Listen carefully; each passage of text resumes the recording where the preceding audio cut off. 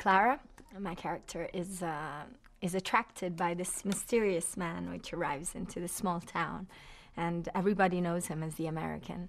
Uh, but not many people know much about him. Actually, they don't know anything. They just know he's American, and that's how they call him the American.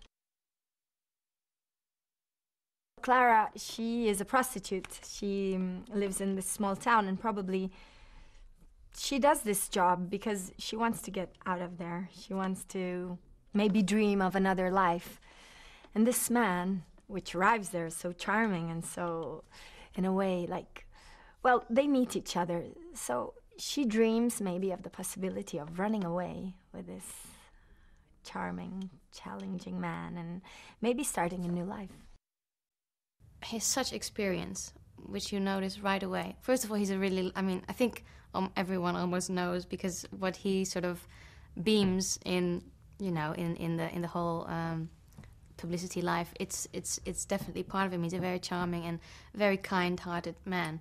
But um, apart from that, and his jokes, you know, endless jokes, and he's very funny.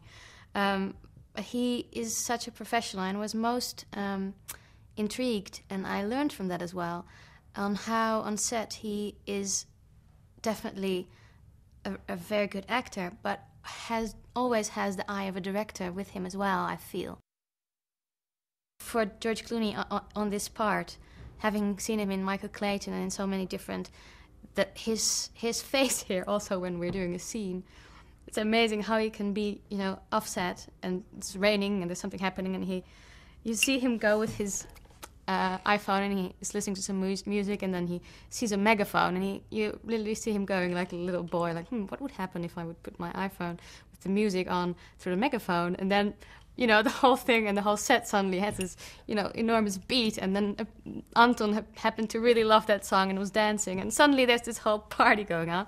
And then, boom, we have to go to the scene because the rain is coming. He's already seen that the clouds and it's going to be short time. And, you know, he's back into that sort of almost also as a producer. He has all these awarenesses going on at the same time.